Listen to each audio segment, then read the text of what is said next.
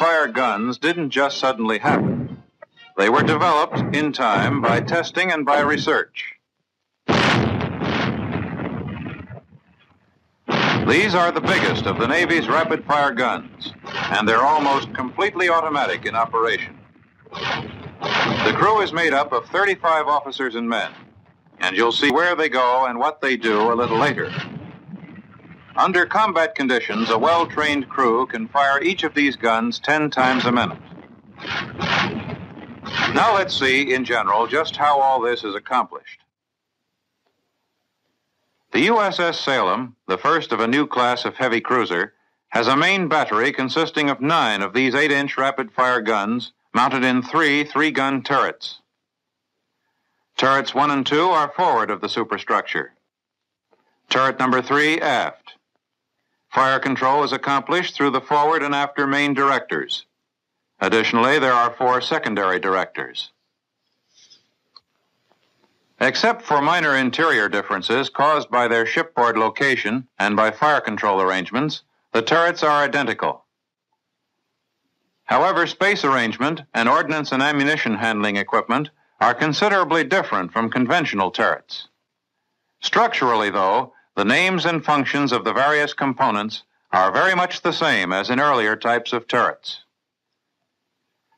The entire turret is, naturally, topped by the gun house resting on the erect structure. Hanging down from the center of this erect structure is the suspended structure. These three parts make up the entire rotating structure.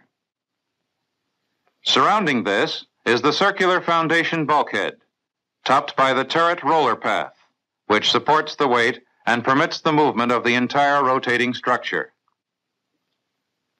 The entire turret, from just beneath the shelf plate down to the third deck is protected by a cylinder of armor known as the barbette.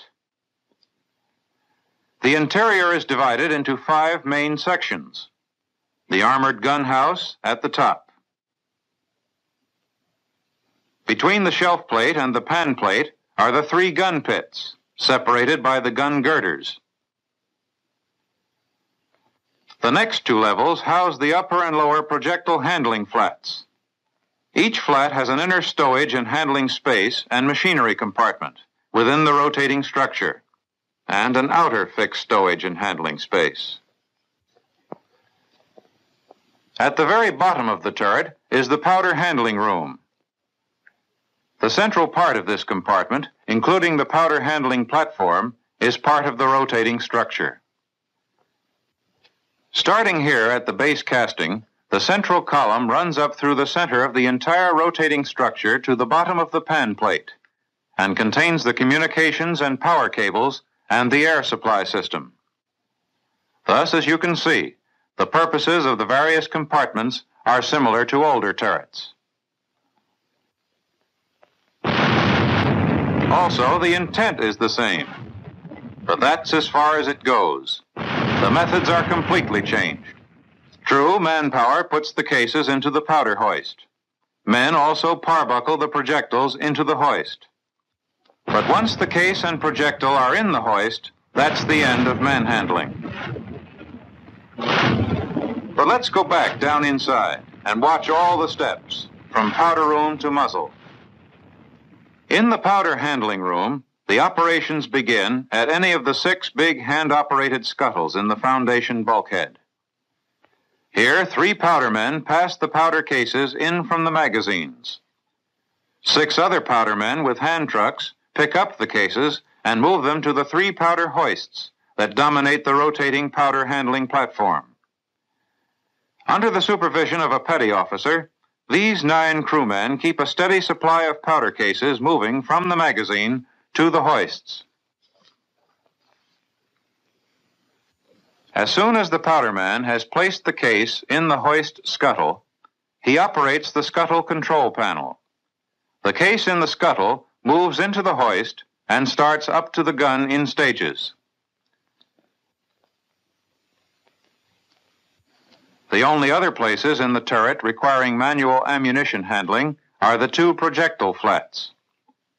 Here, the primary pieces of equipment are the three projectile hoists, right, center, and left. there are two independently rotating projectile rings on each flat. The eight-man crew is made up of the inner and outer projectile ring operators, a projectile man for each of the three hoists, and three parbucklers to move the projectiles from the rings to the hoists.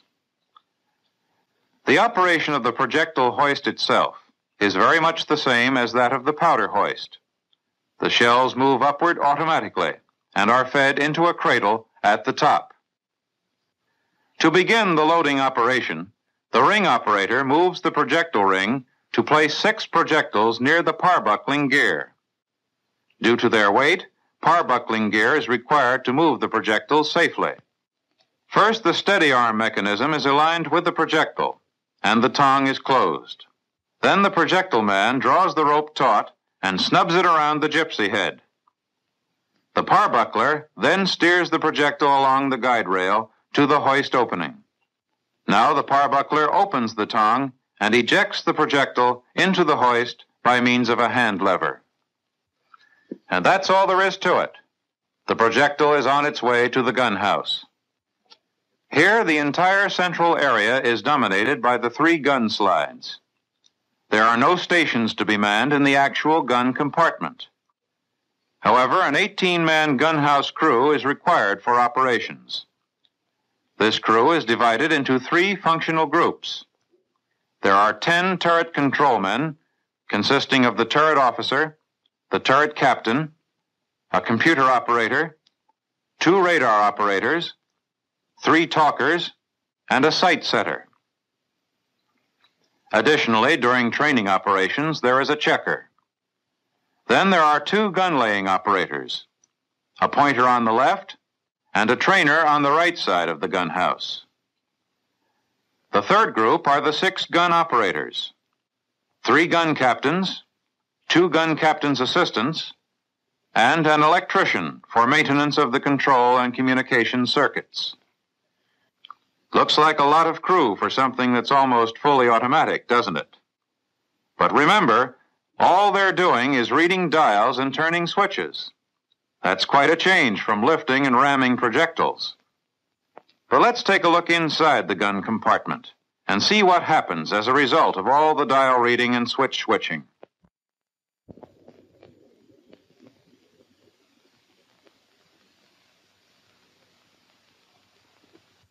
Well, that's what happens. Couldn't see much, could you?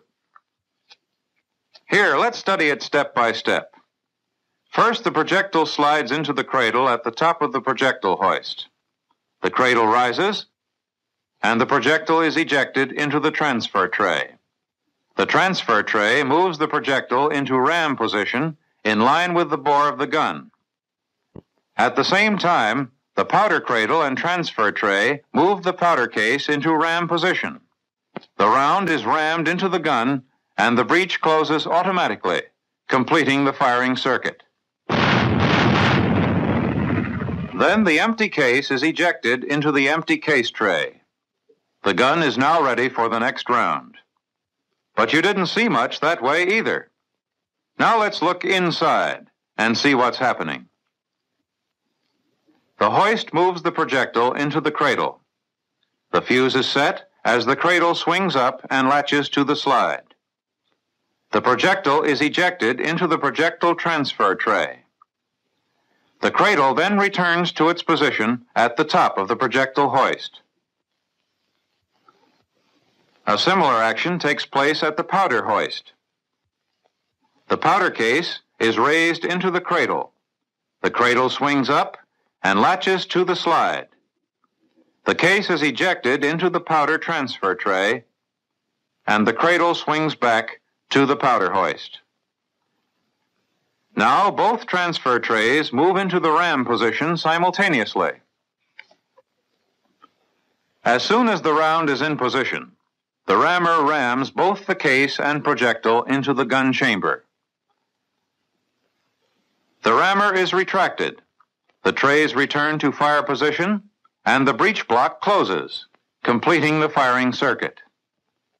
As soon as the recoil and counter recoil action are complete, the breech block opens, and both extractors operating simultaneously, eject the case into the empty case tray. As the next round moves into ramming position, the empty is dropped into the case ejector. From there, a chain conveyor moves the empty cases out through the empty case tube.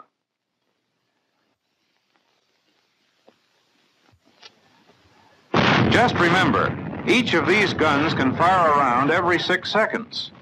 That means a turret with all three guns firing can average around every two seconds. That's firepower.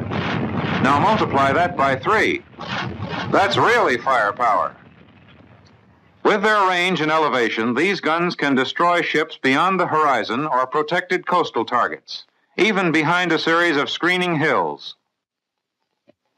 Another thing to remember about these rapid fire guns.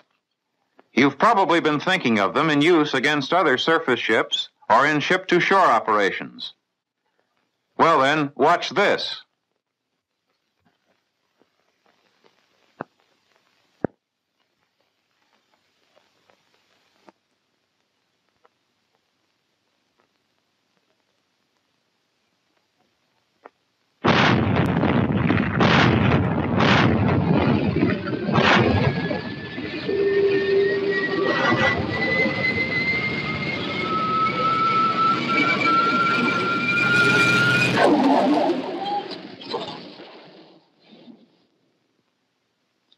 And the aircraft never even got near the ship.